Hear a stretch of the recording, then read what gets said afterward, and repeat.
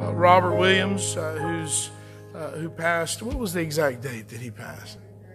September 30th, and uh, because of COVID and such like and things, and it just it weren't, we're not able to do a memorial service, so we incorporated it in the service tonight. And so I'm glad that you came, and you can just worship with us. I'm going to preach here in just a little bit, but let's let's sing uh, a shelter in the time of the storm. We all stand, and uh, as I said a moment ago, death and life are in every service. We hope people that come in dead in trespasses will receive Christ and be made alive, quickened. Let's sing. All right. The Lord our rock in Him we hide, a shelter in a time of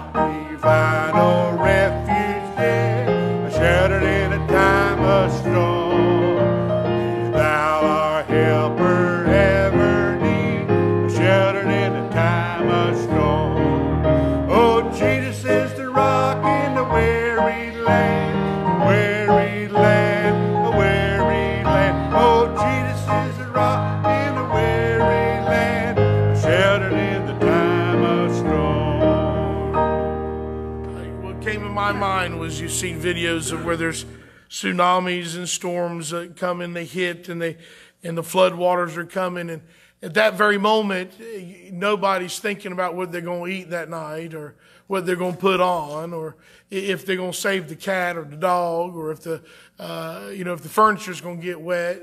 You just think about saving your own life. And uh, really every service ought to be that way. We come in here and be putting all that aside and just make sure we get to that rock get to that rock in a weary land. And so uh, I'm glad I found that rock, aren't you? Or maybe more accurately, the rock found me. Amen. So uh, I'm glad I'm on the solid rock in which I stand. Let's pray tonight. And I do ask for your prayers for my Aunt Frances and and uh, she's going to be staying here for a little while and keep mom company. And they're going to cook and cook and cook, and we're going to gain weight, and we're going to uh, we're we're going to yeah, we're going to just have a good. Maybe they'll fish too, and teach Junior how to fish and all that. Oh, they just we'll just maybe we'll do all that stuff. So uh, let's pray together, would we, for Miss uh, Aunt Frances and the rest. Father, in the name of Jesus, we thank you for being our rock in a weary land. And Lord, tonight as we come to worship you and honor you, and uh, also remember uh, my uncle, a friend, a husband, uh, Lord, a, a relative tonight. Uh, we want to thank you for his life. And Lord, thank you for what he meant to us all. And I do pray that you would uh, encourage those that might be watching via Facebook, family members, uh, whether watching now or later. And I pray, God, that uh, through this time of service, uh, this closure for the family, that uh, we all in here, all listening and hearing and watching, that uh, we would be doing some business with you, Lord, getting to that rock uh, that solid rock on which we can stand and not, not live our life on sinking sand. Lord, do that work in our life. Do that work here tonight in this service. May you be glorified and may we be comforted uh, during this time. In Jesus' name, amen. Turn around and wave at each other if you would just for a moment. And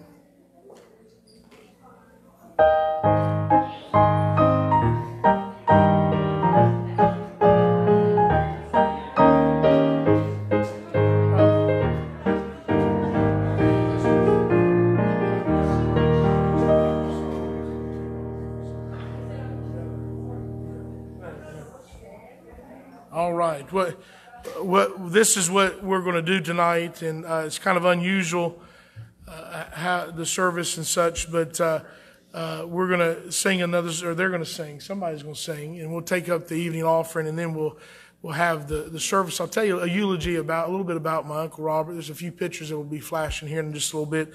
We just have a couple up here as well, uh, and uh, and then I'll preach, and then we'll go eat some food. Amen. That'll be all right, and fellowship a little bit. But uh, uh right now, we just need to think about. I want you to think about life and death, and think about. He was 87. Is that correct? 86 years old, and uh, I will say this: is that he had been sick for a little while but he ended up dying of a perforated bowel that they found two hours, but they found the spot before, two hours before he died. So he lived a long life, but you just don't know. You just don't know when you're going to die. You got to be prepared. It could be tonight. Uh, I know Ronnie didn't. He lived, but he didn't know he was going to fall off that roof. And uh, so that those things can happen. We don't never know when our hour is going to. So make sure we're ready. Go ahead. I want y'all to back the, the girls.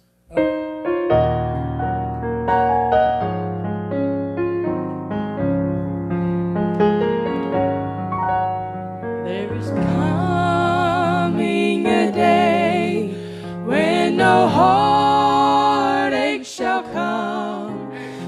no more clouds in the sky, no more tears to dim the eye. All is peace forevermore on that happy golden shore. What a day,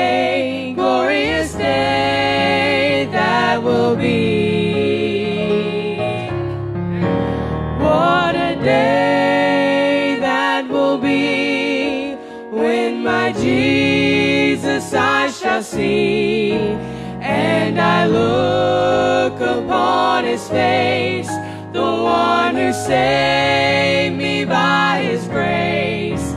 When he takes me by the hand and leads me through the promised land. What a day,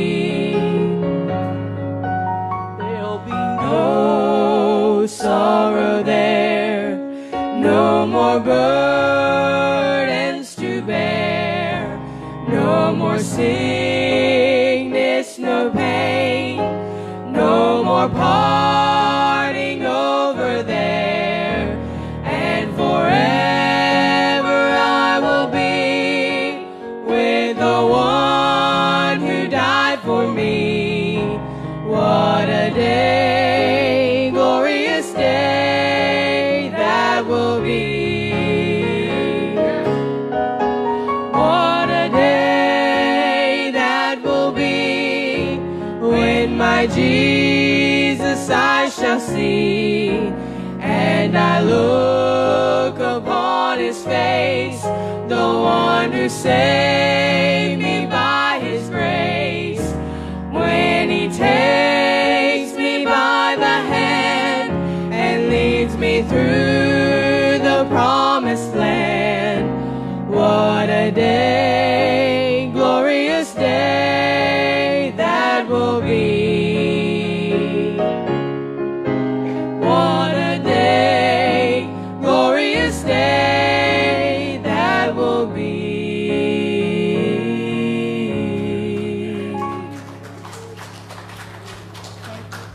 We'll, we'll take the offering up at the end of service, but I, I wanted to uh, just tell you this. Uh, it, it is a sad day when you have to uh, make closure and there's a, a memorial service, but I, I, I failed to tell you, and I think it was providential hindrance, so that we could brighten the service up just a little bit, that Phyllis's uh, dad, Buford, who was 98 years old, got saved.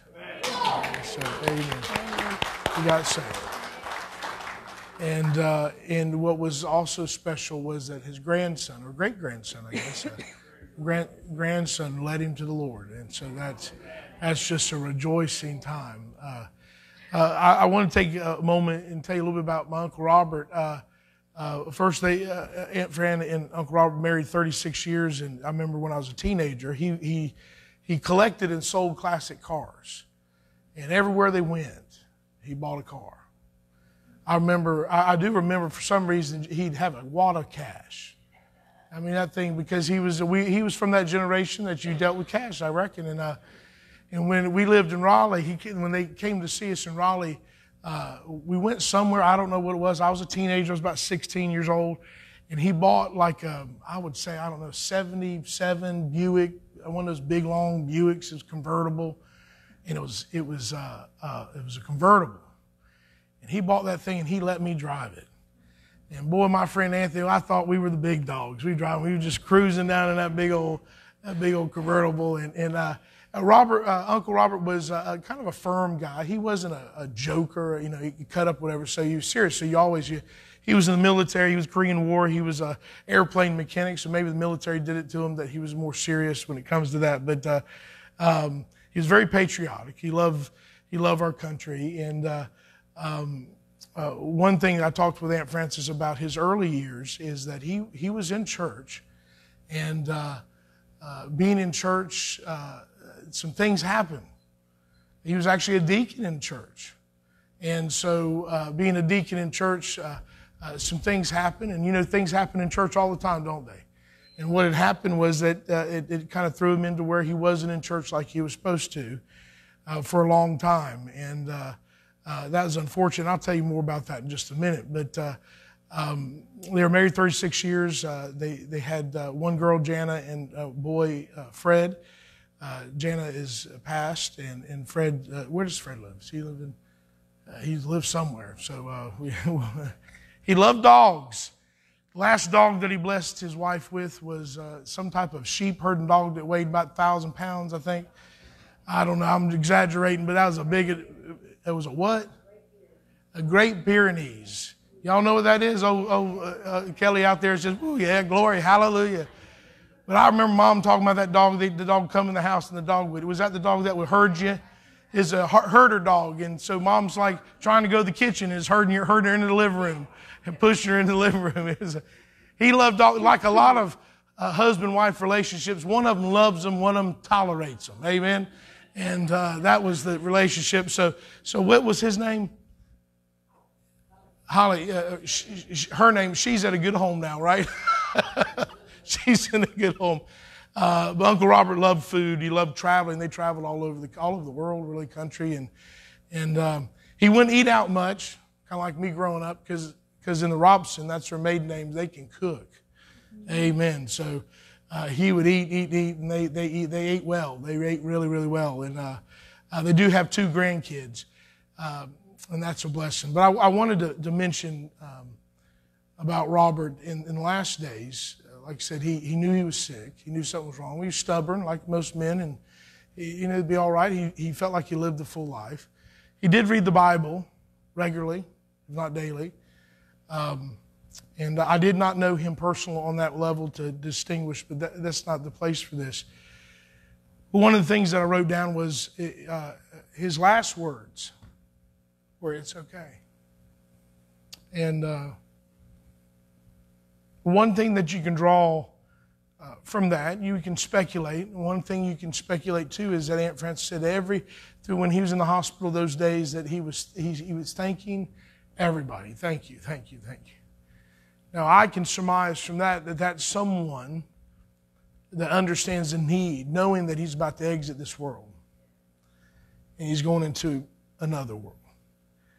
And um, God answered Aunt Frances' prayer, but he didn't suffer. Is that uh, he needed to be lifted up in bed or whatever, or you moved him to his side and, and kind of rolled him over, and God took him like that. He was gone in the moment. We are hoping that he'd go get out of the hospital, but it didn't happen. And so we're here today, and, and uh, uh, we're celebrating the life of, of, of Robert A. Williams and uh, I, am thankful that I had I got the, to meet him. He has been in the church several times over the years, and uh, uh, he he like I said he loved cars. Now he did insult me last time he was here. He did. He did. He insulted me. He didn't know he did, but he said I'll give you I think eight hundred dollars for that Honda. I said, oh, yeah, you know. I think he said it to mom through me or whatever, but it was like, I wanted 1200 or whatever. But he said, well, I got to do this, got to do that. He was a wheeling dealer. So now I kind of wish I did sell it to him, you know, just, but you're driving it now. So you have no, nothing to, yeah. Uh, but uh, uh, think about life. Young people, I want you to think about death. I want you to think about we're not going we're not going to be on this earth forever. And we've got to make plans. Uh, this life is the preparation for eternal life. And uh, some are well prepared, and others are not. And so before I preach, I want Leslie to sing a song that uh, I don't know if you haven't sung it here yet, have you? You have, but it, it's a, it's you get the tissues, get, get the tissues, because it, it's talking about the other side.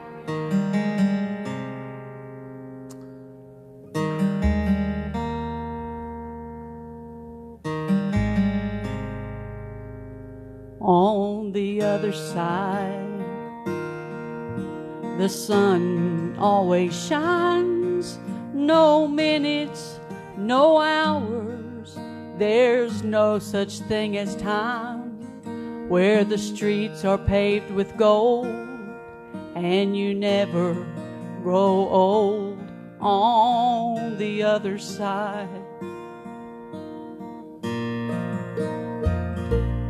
on the other side. Everybody sings, there's miles and miles of flowers and lots of pretty things where the sky's the perfect blue and everything looks brand new on the other side.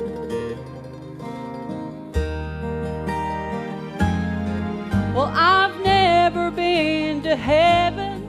I didn't know what it was like. But God let me have a glimpse in my dream last night. And I could see you smiling. You were looking right at me. And in the first time in a long time, on your face I saw some peace and I knew everything was gonna be alright on the other side.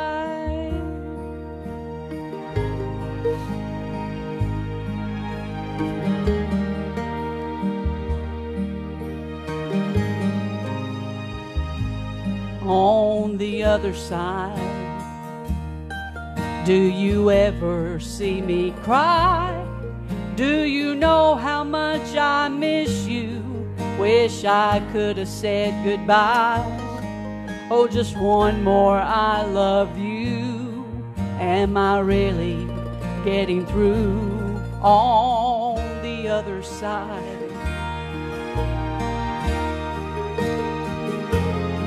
Well, I've never been to heaven. I didn't know what it was like. But God let me have a glimpse in my dream last night. And I could hear you laughing. You were looking right at me. And in the first time in a long time, on your face I saw some peace. And I knew everything was gonna be alright. No more tears and no more sad goodbyes on the other side. On the other side. The other side.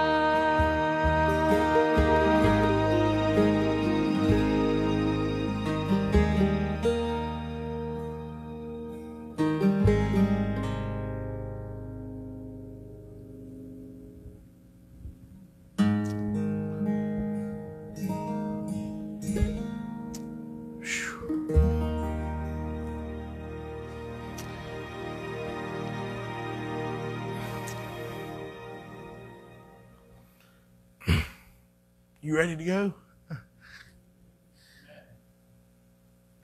Hebrews chapter 9, verse 27, and it says, It's appointed unto man once to die, but after this the judgment. We'll be in John chapter 11. James 4 14 says, Whereas you know not what shall the morrow be on the, be on the morrow, for what is your life? It is even a vapor that appeareth for a little time and vanisheth away. With the certainty of death uh, for us all, all, all of us need to prepare. Some uh, will prepare as close as they can per God's instruction for death. Uh, many of you in here will, will do as much as you possibly can to prepare for your death, as far as being right with God, as far as, as far as getting ready for that last breath, whether it be over a period of time or a sudden death uh, in a wreck or wherever, how God chooses to take you. Uh, Keeley's friend uh, had passed away. He was 26 years old. He was on a dock and a wave came and knocked him over and he drowned. He was a preacher boy. Another little baby we heard that had been died. It was uh, premature. Its twin lived, but it passed away. We don't know the hour in which we, we're going to leave this world. But some prepare as close as they can, and, and others don't prepare as much. Others just don't have the blessedness of being discipled, having access to people that care about them and teach them and show them and, and guide them. Tonight, uh, we are thankful for life. I'm thankful for life. And we must, we must learn to be more respectful of death. Don't live life so vicariously and so, uh, so flippantly that you don't prepare for that, that imminent time that's coming to all our lives. Death is certain for every one of us, no matter how young you all are and no matter how old you are. You can't cheat death. I want to preach about death and life tonight. My uncle just passed away in September. Although he lived uh, 87 years, 86 years, uh, it's never easy for us as loved ones to say goodbye. You think of uh, Aunt Frances has to live with the fact there's an empty space.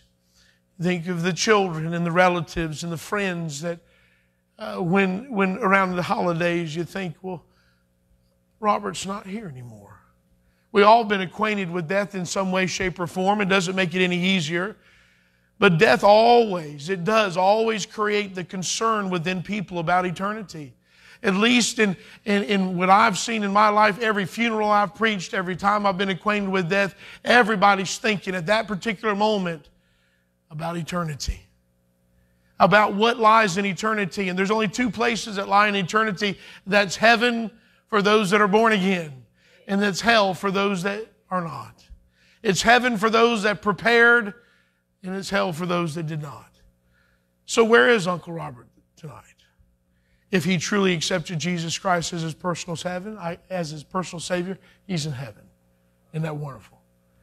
If not, uh, if he was just a religious reader of the Scripture and he never humbled himself to be saved, he'd be in hell. I like to think that he accepted Christ based on what she said, based on the decision she, he made. But nobody really knows but you and God.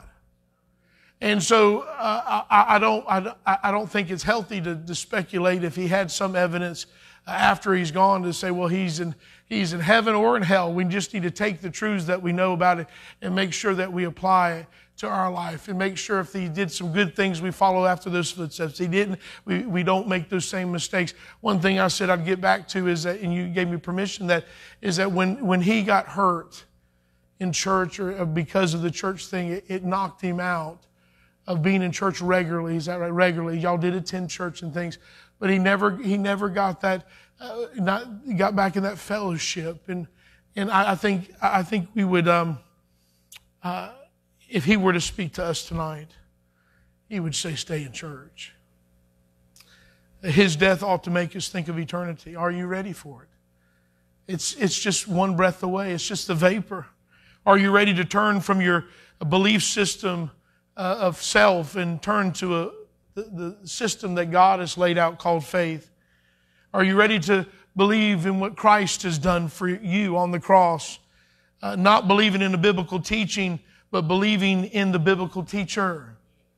you realize there's a difference today. And those watching, I want you to understand there's a lot of people that live their life a good Christian like life by believing in living by biblical teaching, but they never truly trust the biblical teacher, the Lord Jesus Christ.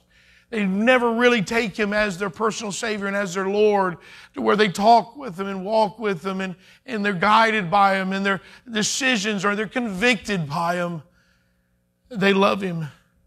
Jesus wants us all to be truly saved from our sins with desires of growth and desires to love one another, desires to, to do more than just live an empty life about self. In John chapter 11, I want you to look down in verse 25 and 26. It says, Jesus said unto her, I am the resurrection and the life. He that believeth in me, though he were dead, yet shall he live. And whosoever liveth and believeth in me shall never die. A very important question, believest thou this? For life to have real meaning and purpose, one must be truly born again one must truly know who Jesus Christ is in their life. Young people, I want you to pay close attention because most young people make professions. They make several professions, if not many. And so a lot of you may be writing on that, well, I got saved when I was this age, but nothing's really changed. You really didn't understand. Tonight may be the night that you truly get born again. I look at Fabiola. Fabiola made profession when she was real young she she she didn't get saved. She she was went wayward, sway, went out a little bit, and then come back and truly got born again. Uh, you don't think you're going to heaven just because you believe, just because you believe. The devils believe and they tremble. For life to have real meaning and purpose, you must be truly born again. To be saved, one must believe that you are dead in your sins. In, the, in Ephesians chapter 2, do you know what that means, being dead in your sins? That your sin in your life has killed you. That life is nothing because of your sin. Your sin has a hold on you, has a grip on you, and you know where it's chained to It's called hell. Uh, let me make it very clear God don't send anybody to hell. God loves us too much. Your sin and rejection of Him sends you to hell. In Ephesians chapter 2, it clarifies this thought of being dead in your sins. It says, In you hath He quickened, that means made alive who were dead in trespasses and sins. So there's a d- distinction made that Paul made to the church of Ephesus, saying that we were dead in our sins, but you know what? God made you alive. How did he do that?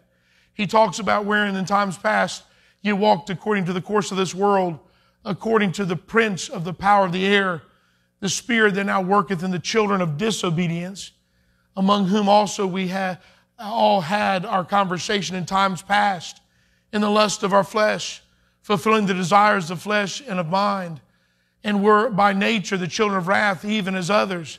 But verse 4 changes. He's describing that we're lost at one point. We were dead in our sins. But verse 4, he says, But God. And I like it in the Bible when, it, when a statement is made that's not very fun, not very good, it's not very uh, uh, pleasing, but then it says, But God, who is rich in mercy, for his great love wherewith he loved us, even when we were dead in sins, hath quickened us together with Christ. By grace, ye are saved.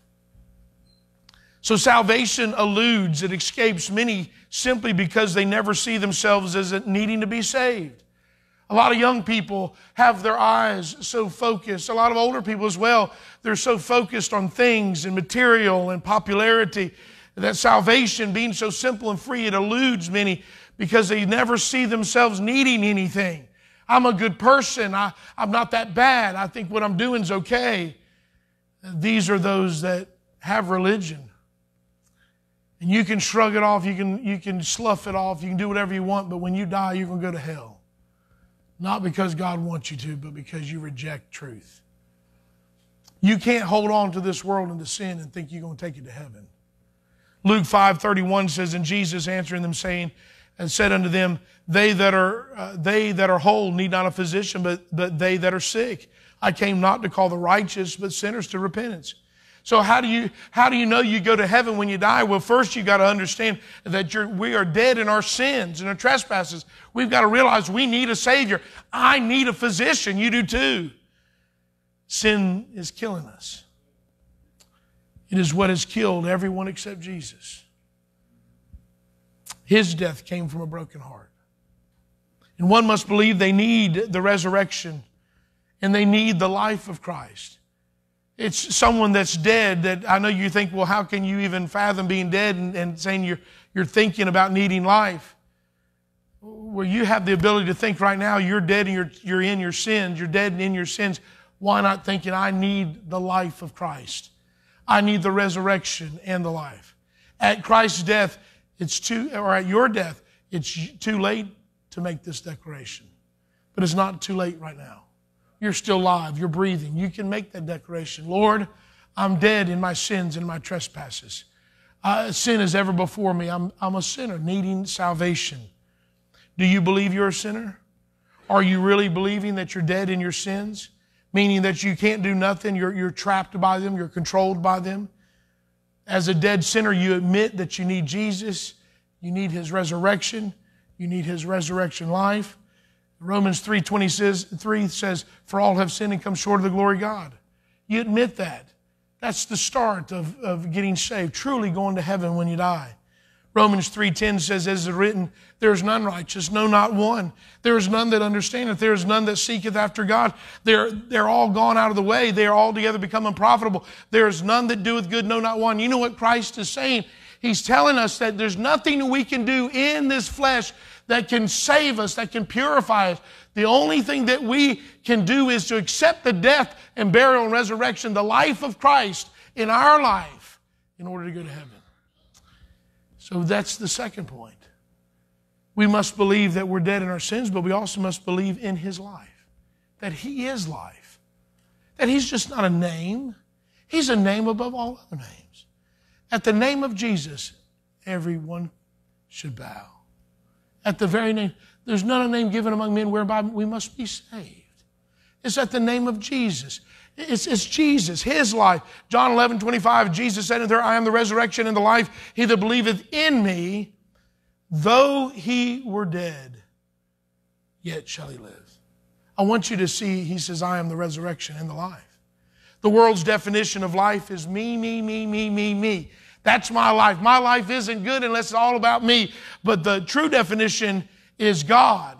It's Jesus and it's the Holy Ghost. Amen. That's what overrides me, and that's what overrides, that's what quickens us, that's what makes us alive, that's what makes life worth living. Do you know when you stay in your sin, there's pleasure but for a season, and there's always consequence. Galatians 2:20 says, I am crucified with Christ.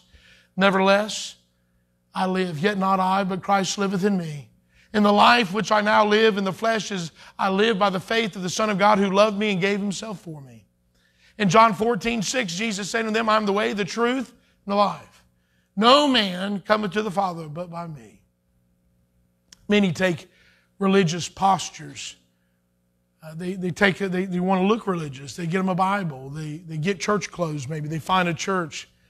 They get they, they posture as a as a Christian. They they have a they have a title, but they, they lack a testimony. Many take a religious posture and never, never take the life of Christ. What does it mean to take his life? His life was one of sacrifice. His life was one of love. He came to give. He was crucified, buried, and he rose the third day. So, in order for us to be saved and go to heaven, we must understand that we're dead in our trespasses and sins, and we've got to accept his life.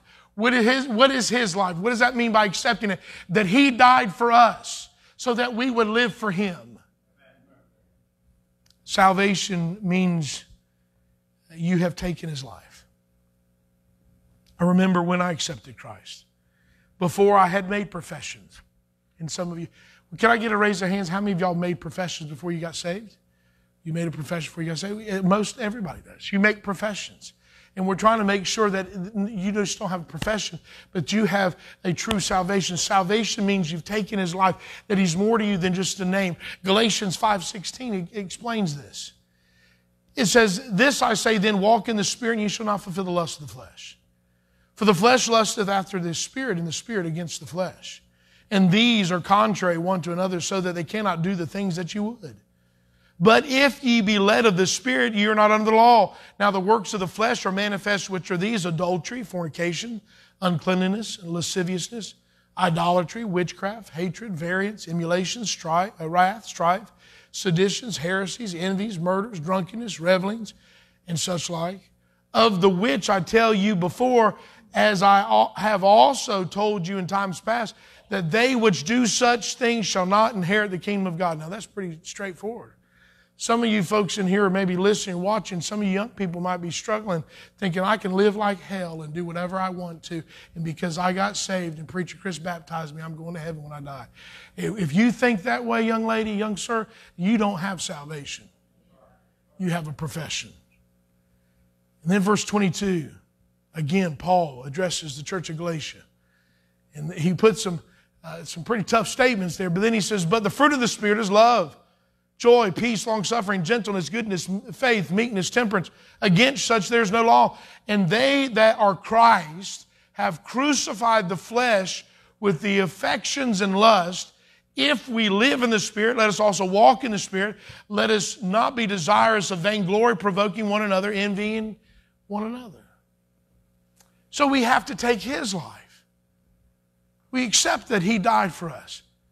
We accept that He rose for us.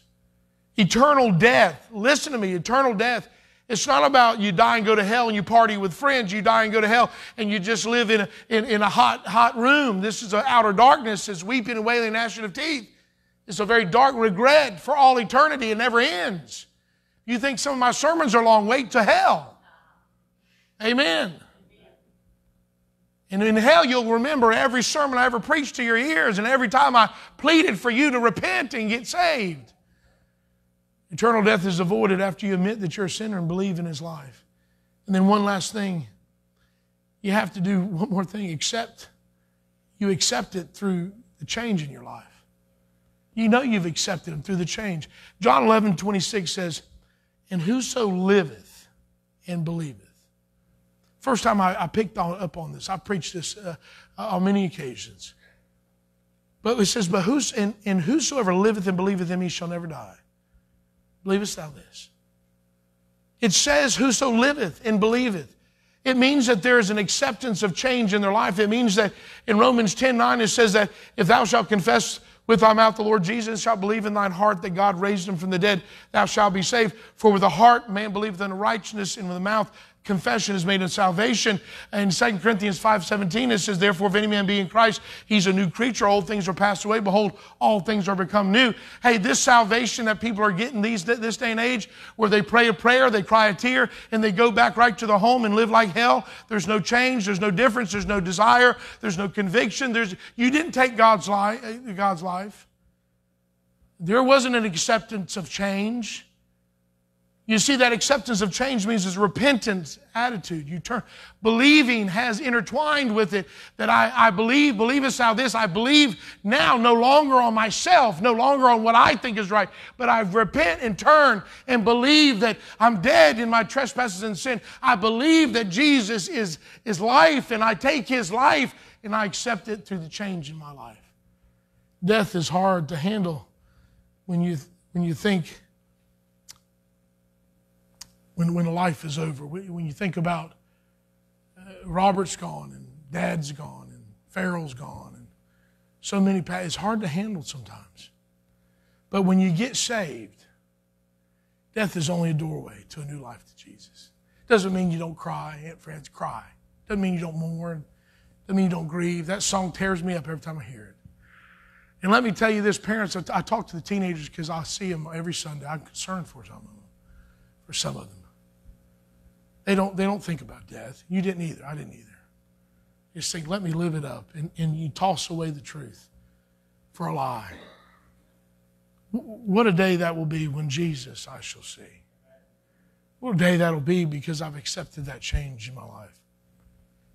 As I said, Robert was a deacon in, in his younger life, but things caused him to get out of it, attending the church on a regular basis. He did read the Bible regularly. He was a very nice man if he could speak today, I think he most certainly would say, Listen to that preacher. Aunt Frances gave me a, told me of a compliment that Robert Robert uh, had for me. He said that, that I was the best preacher that he, that he heard. Uh,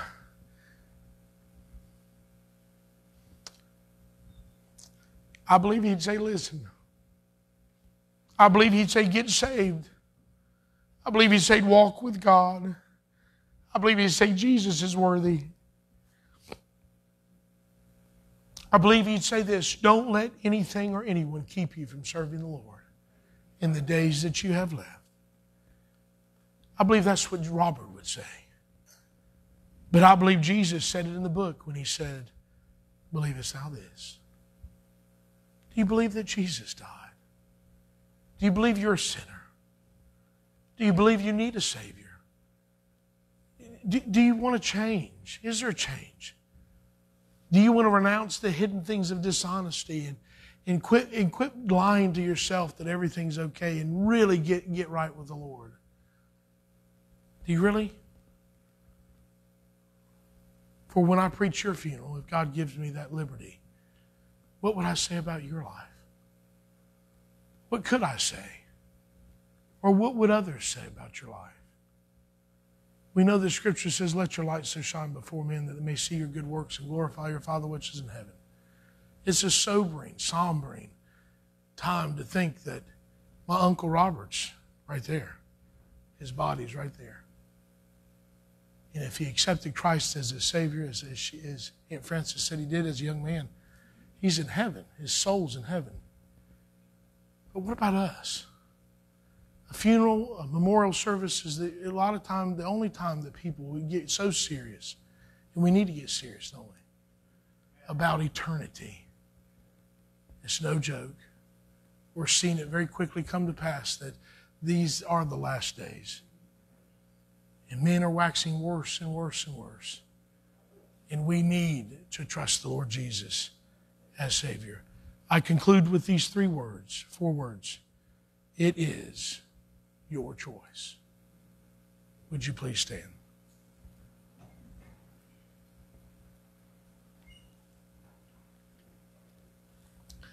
With your heads bowed and eyes closed. Over the years, many people would ask me, Preacher, do you believe our loved ones can look out in can look out from heaven and look down in here? I think they can.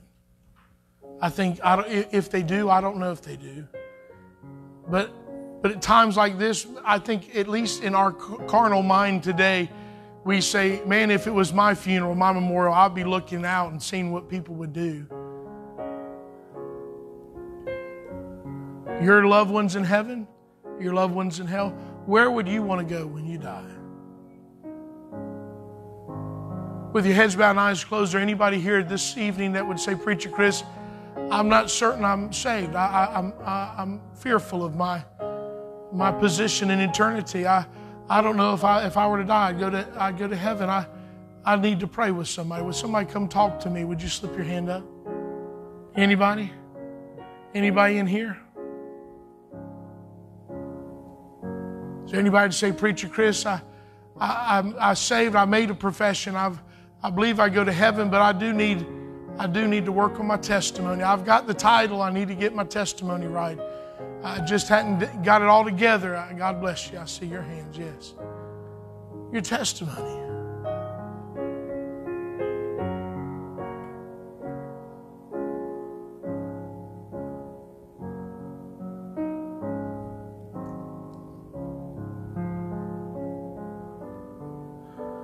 Song that was requested that we know so well.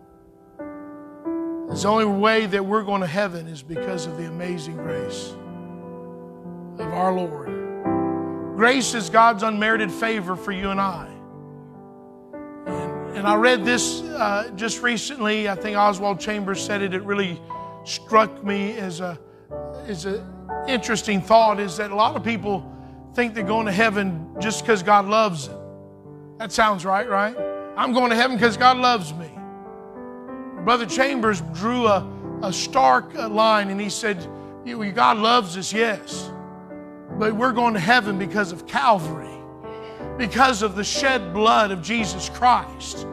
You see, if Jesus didn't shed his blood, if Jesus didn't die for our sins, he could still love us and we could still go to hell.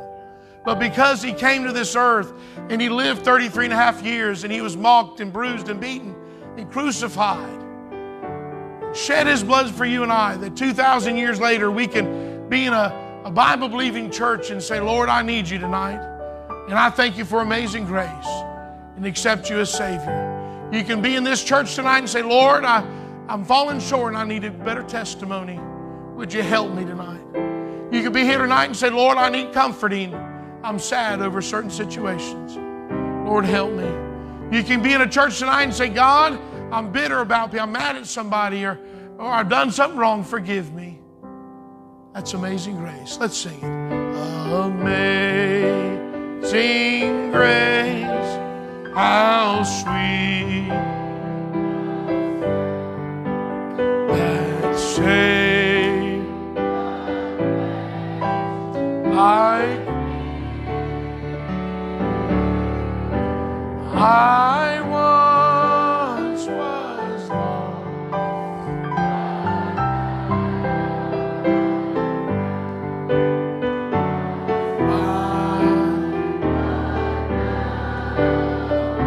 Listen, listen to this last verse.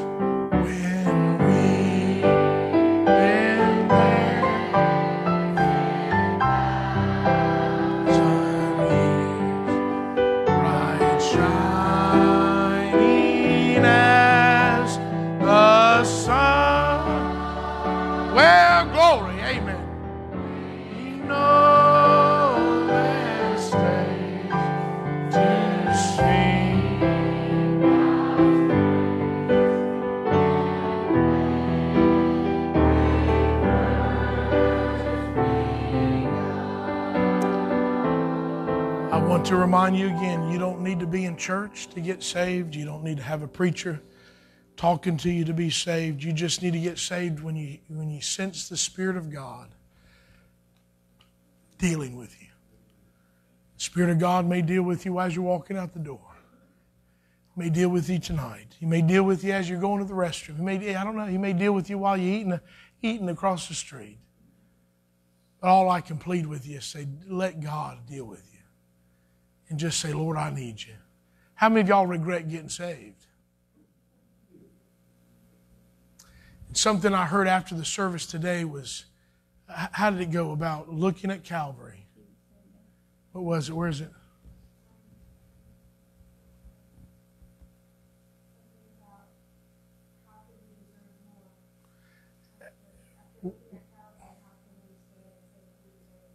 Yeah, what kind of person are you if you look at Calvary and say, I want more? What kind of person? Where are you at? Spoiled. Spoiled. Man, we've God's blessed us. We're we are we are in a blessed place, and uh, salvation's free. And I'm glad that uh, Aunt Frances that we as a church can try to be some comfort to you. And I know it's hard not having any other family than least you got the best sister with you, right? Amen. um, no, I, Aunt Lois and uh, yeah, we, we do love you, and uh, we want want the Holy Ghost just to love up on you in these days, and and uh, I look forward to I look forward to heaven. Did you know what? There's it's Christmas time in heaven. Twenty, I mean, forever and ever. Christmas time, joy, wonderful, and we don't have to open up presents or wrap them. Say Amen there. So we, we love you, Aunt Frances, and we want you to, to know from our church and, and, and, our family. And I thank you for coming. I know uh, uh, some of you don't know my aunt, but uh, uh it's never easy saying goodbye to your, your love of your life for 36 years. And so you pray for her um, in the days to come. I know she'd appreciate it. Uh, when we exit, if you have an offering, the guys are in the back. Uh, and let me let me be extremely. I, I don't Tuesday to be screaming. I don't want any kids, little kids, going across that street by themselves.